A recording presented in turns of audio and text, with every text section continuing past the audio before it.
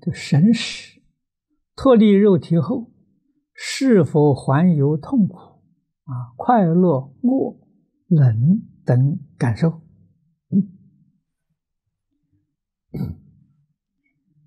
神识完全脱离肉体之后，没有这些感觉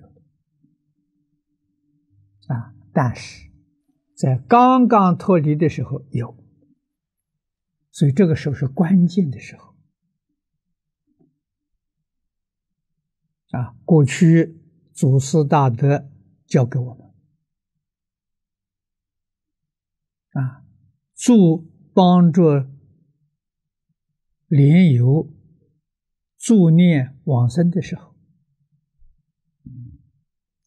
特别要注意的，不能碰他的身体，不但身体不能碰，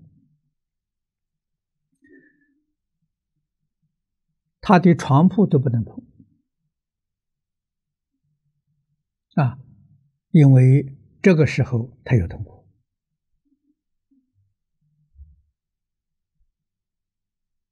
啊！他痛苦的时候，他就生嗔恚心，生嗔恚心对他非常不利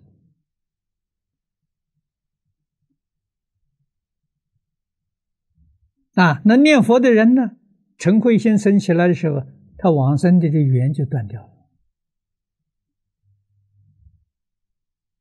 啊，那在一般普通的人，啊，生成慧心呢，那看他的业力，业重重的，他到地狱去了；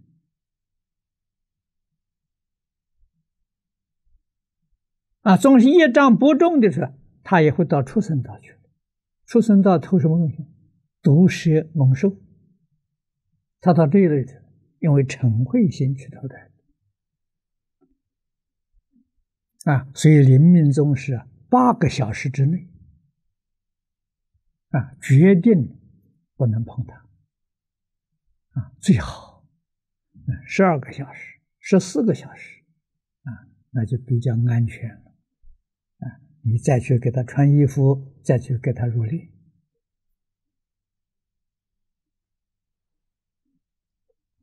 啊，古大德教导我们的有道理。我我们要相信啊。